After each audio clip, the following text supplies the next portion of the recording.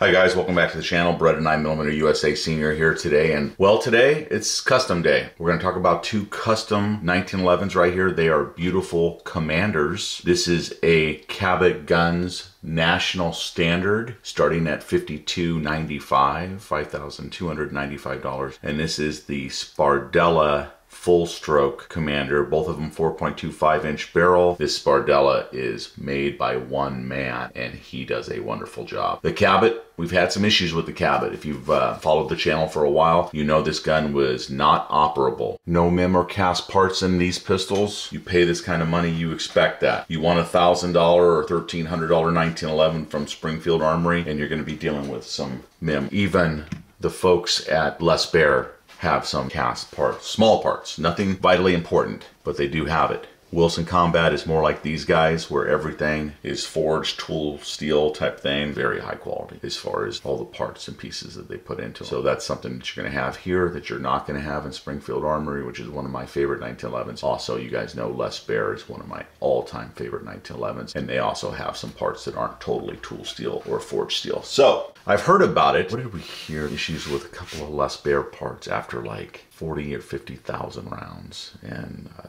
couple parts broke, and he had to have a gun serviced and fixed. Okay, well, you know, Glocks break too. I had uh, a service Glock that had parts breaking in it at around the 18 to 20,000 mark in a 40 caliber Glock. So, and I attribute that to just the ramming and battering that goes on with a 40 caliber Glock going off uh, over and over and over and over again. And we put a lot of rounds through those pistols. And sooner or later, little parts holding the guns together started breaking. I still think you get a lot more going out of these metal guns, whether it's a 1911 or a Beretta or a SIG over some of the plastic guns. And I just like the feeling and the visual of these guns over just another plastic Glock or just another M&P or just another Hellcat. Love the Hellcat. I was talking to a guy at a gun store recently saying, you know, for a little hideaway gun, get a 9 millimeter at least. Try to stay away from the 380 and smaller if you if you possibly possibly can. Same thing goes with the female shooter. So deep cover male, deep cover female, I don't care who you are, try to stay with a 9 millimeter. But when you get up to these fuller size guns and these quality built 1911s, try to buy the best quality that you can. This is a full cycle commander size 4.25 inch barrel and this is a full stroke commander size 4.25 inch barrel. When you get to the specifics of either the full cycle or the full stroke as far as these commanders are concerned, Sbardella gives you more information on that. Let me read from their website right here. The 4.25 inch barrel commander with full stroke design. The slide has the same length of travel as a 5 inch gun, which leads to more consistent ejection and better reliability versus a traditional commander. I also think it has a smoother working of the slide in these as compared to a regular chopped off commander pistol in 1911 from most companies. These guys are stepping up. They're trying to give you a better gun by their full stroke or full cycle this uh, is the Cabot that absolutely would not run when I first purchased it. We ordered it exactly how we wanted it, special order, waited almost a year to get the gun, and then uh, the gun was inoperable when it first came to us. Had all kinds of issues that needed to be addressed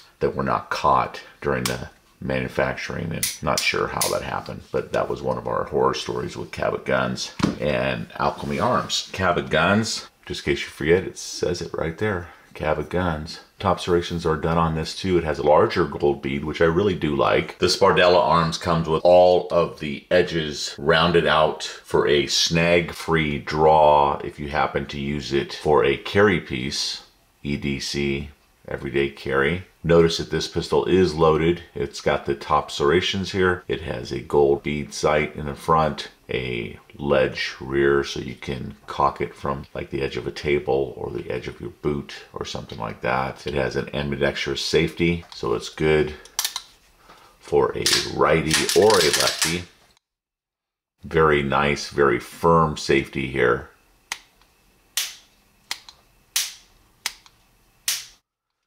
does not move easily.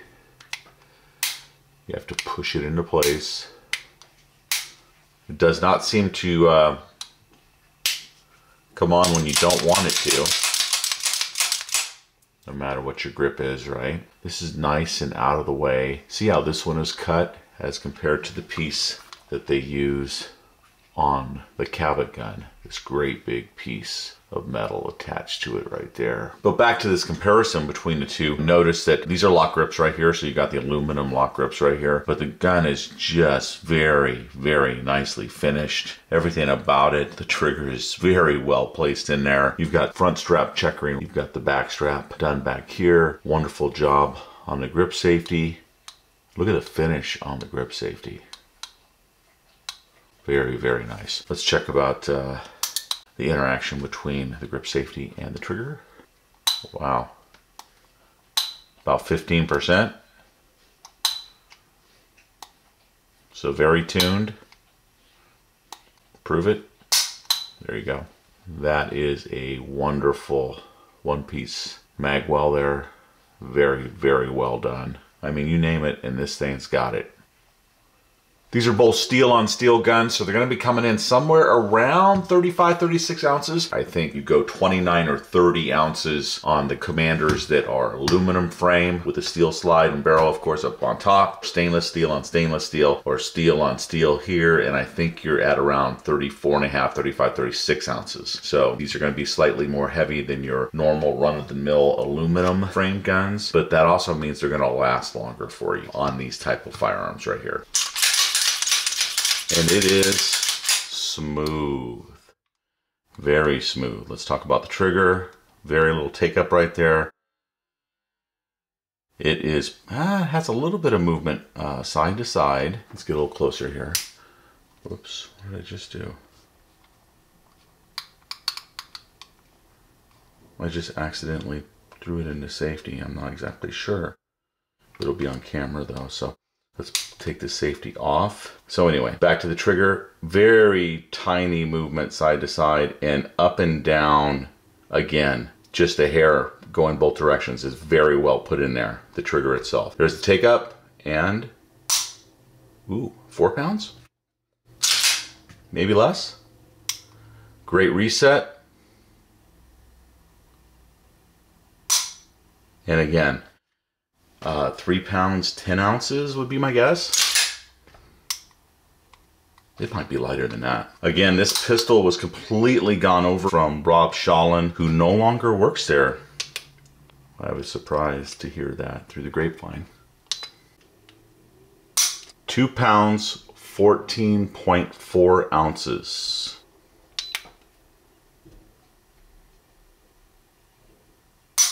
Two pounds, 9.1 ounces, and one last one. So we're under three pounds on all of these so far.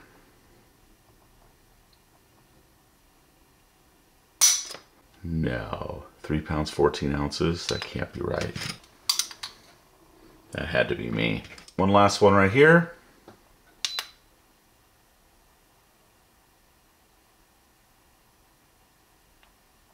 Two pounds, 4.3 ounces. So yeah, under two and a half pounds.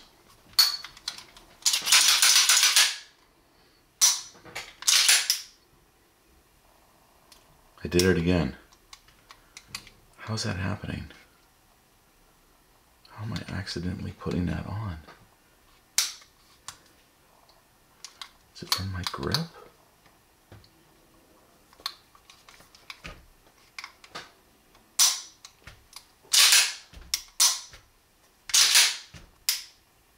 There it was. So my skin here of my hand is pressing into the far end of the safety and it's putting it on accidentally.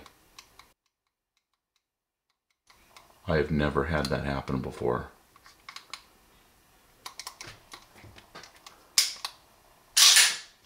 Let's just prove to you that I'm, I've got it, my hand with a high grip right here, like I normally would, right? That's stuff and that stops it. And as soon as my hand pushes hard enough on the safety over here, it is throwing it in to safety on.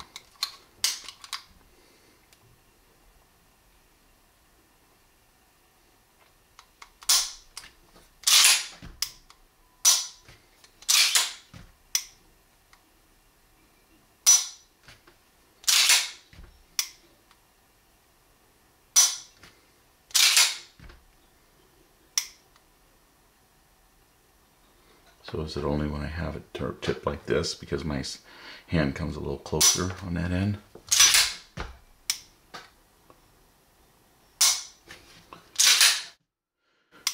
Anyway, I can't recreate it again, but it happened three times. Well, that's a little concerning. Let's take a look at that and just, so it doesn't seem like it goes up easy. I can't even, I guess I can. Oh, I see. So if I'm pressing in here, if I'm pressing in right here,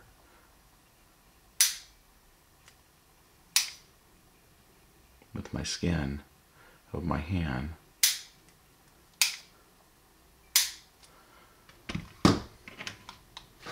look at the difference in the design. That's amazing. I don't know what to say about that. That could be a, a real problem for your personal safety. Weird. Do I have any other 1911s around here? Okay, here's what I'm carrying today. Dan Wesson. This is a hot gun. My Dan Wesson today, and it has a very similar safety to the one that's used on the Cabot right there. So let me make this safe real quick.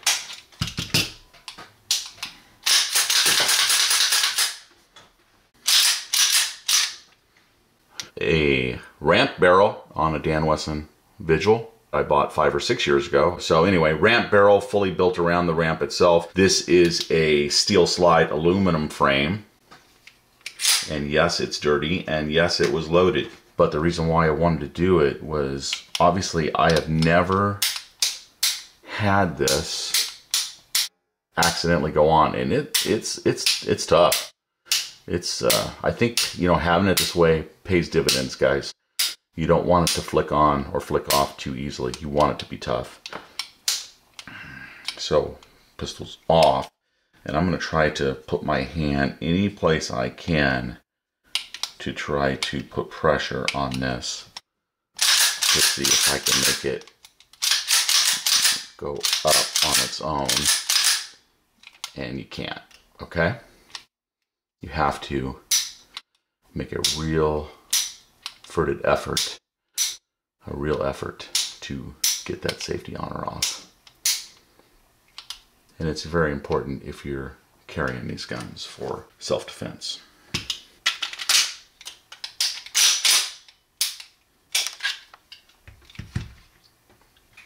Okay, I wasn't thinking that was going to happen or be an issue. I knew there was other things about it I just didn't like, besides the terrible back and forth that we had from the guys at Cabot and the guys at Alchemy Arms. You know, it is what it is. I'm not going to bring that back up. I'm not going to beat a dead horse. Definitely moving on from that. So, but a concern. Is that fair? A concern. I think that is more than fair to say it is a concern. And you may not notice it. How many times did I try to mess with it to make it happen? And it came on, the safety came on three times on its own zero times with this and zero times with uh, Dan Wesson. So I've got an ambi here too. So this side is that way and this side is this way. And let's just play with it for a few minutes here, or a few seconds and see if I can make it come on on its own. No matter where I'm putting my hand, my finger up against it here. No, no. Sure can't. Just a wonderful job overall on every part of this 1911. Absolutely beautiful. And for less money, you get the overall polishing of the entire gun and you pay less than you pay for this right here. Again, this is all forged parts, no skimping done on this 1911 at all. Top of the slide is done. The mainspring housing is done. The front strap is done. I've looked at this gun so many times, there's really nothing that's not absolutely perfect on it. It's only been to the range once. I plan to do a lot more with it over the time that I'm going to own it, but it's a beautiful gun. And this particular one set up this particular way, I think it was like $5,300. But you can get into it a little bit more basic for about $4,300 and $1,000 down is the ordering process for them. It's $1,300 down for ordering process for this one. And then you pay the balance when they come in, of course. So that's how that looks. Check out the triggers. This is the three-star approach from Cabot that I really do like. It's a solid trigger and it takes a little time, a little money probably involved in cutting those stars into that trigger, but I did kind of like that from them. The ambi safety other than coming on uh, when you don't want it to. I did notice that it's not as taunt. See? It's just not as positive as the Sbardella. The standard gun will come with blued finish and polished flats, so the sides will be polished, but this overall gun is completely done. So this pistol right here that I'm holding is more of a $5,000 gun from them, where you can get into this model for about 4300 Outfitted the same as this Cabot gun right here would be $4,500 because this Cabot gun does have an ambi safety on it right here, but there's no mag well like it is here on the Sbardella Commander. So talking about the Sbardella a little bit more, it has a polished feed ramp. Do I have a light? Normally I do. Where's a light when you need it, right? There you go. You can kind of see in there that it's polished. As you can tell by looking at them right here, they both have full length guide rods. So that's a gimme. They both have ambi safeties. So if you're a righty or a lefty, we ordered them that way, I'm sure, because my son is a lefty. So whenever we have the opportunity to special order a gun, we almost always do it with an ambidextrous safety. And that's so it's lefty friendly. I also may want to shoot it left-handed, and so I'd feel a little bit more comfortable being a righty shooting it left-handed. So I do take that in consideration. The slide on this gun right here is hand fit to the frame. It has a tuned extractor, just like this one is supposed to have, and it was done uh, after it was sent back. Everything was gone over on the Cabot brought up to the standard it should be at. Lowered and flared ejection port, and of course the back of the slide and the grip safety are blended. And if you have not seen perfection, there it is. I mean, it's just perfect. Can't even tell that there's an extractor right there. Everything looks very well done. And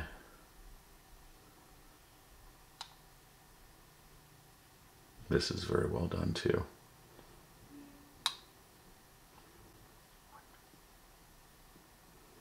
Let's check out the Cabot.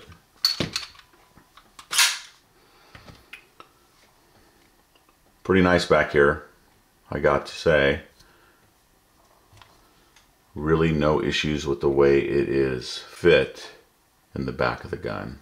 We had a bunch of issues with this and this has been worked on and it's better.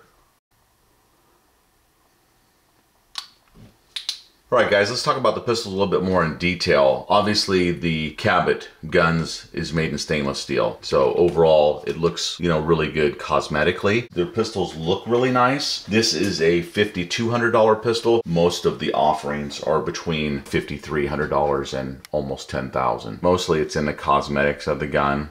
This one now runs pretty good. I'm not a big fan of it because of all the issues it had to get it to this point, but you got to give it to it, right? They do a good job as far as the looks and the cosmetics of the pistol itself.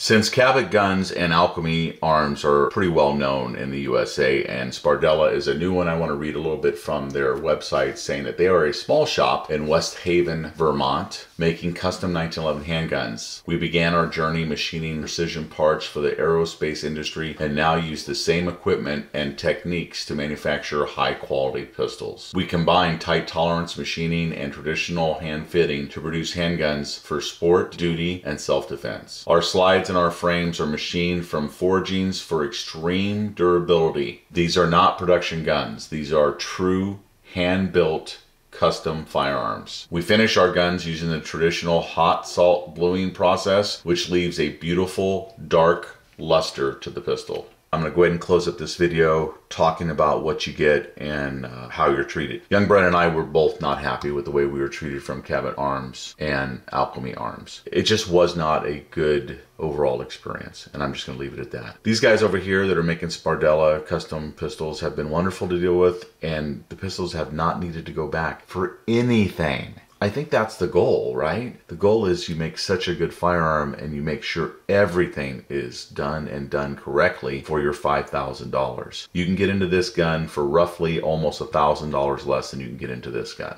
So if you're wondering which one is more bang for your buck, the Sbardella beats the Cabot by almost a grand. A little bit less to uh, put in for your down payment to get them to take your order to make your gun. And like I said, I don't have any experience as far as returning the gun because there's been no reason to return the two that I own. They have been absolutely flawless. It has a nice ledge on it too. Looks very, very similar, doesn't it? So you can rack it off a table or rack it off your boots or whatever you want. The safety, as you can tell here, a little bit easier to flick on and flick off match grade barrels on both, just in case I didn't say that. Nothing up front, but these are pretty good. A little sharp if you catch them at an angle, but they're pretty good. Is it as good as this? Hmm. Very close.